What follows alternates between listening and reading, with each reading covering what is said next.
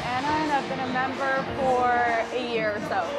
The first day was honestly really, really hard. I never worked out before, so it was like a lot for me.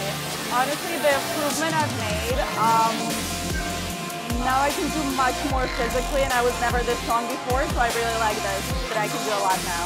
The trainers are very supportive, uh, they teach well, they show you how to do things, it's really good overall.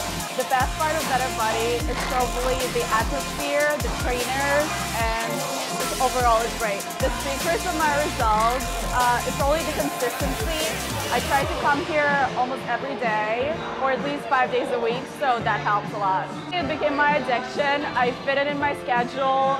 It's like a part of my life now. If someone was scared, I would tell them not to be afraid.